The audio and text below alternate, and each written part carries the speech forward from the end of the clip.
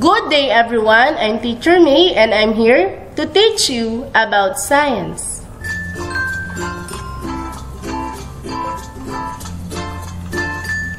It's science time! Happy learning!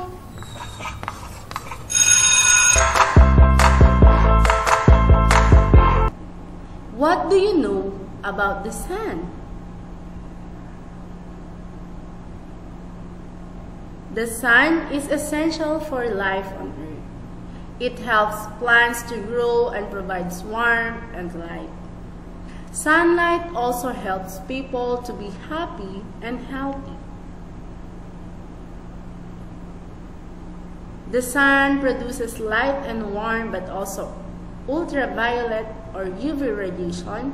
UV radiation cannot be seen or felt.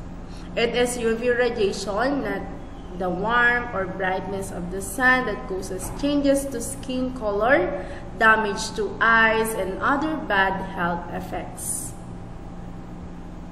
We have here the list of good effects of heat and light of the sun. First, sunlight makes the air warm. Sunlight dries our wet clothes and other materials. It helps us in cleaning our homes. Sunlight enables us to see the things around us clearly. Plants are able to make food with the help of sunlight. Because of the sun's heat, water evaporates and forms beautiful clouds. That's all for now. Thank you for listening. Goodbye and God bless.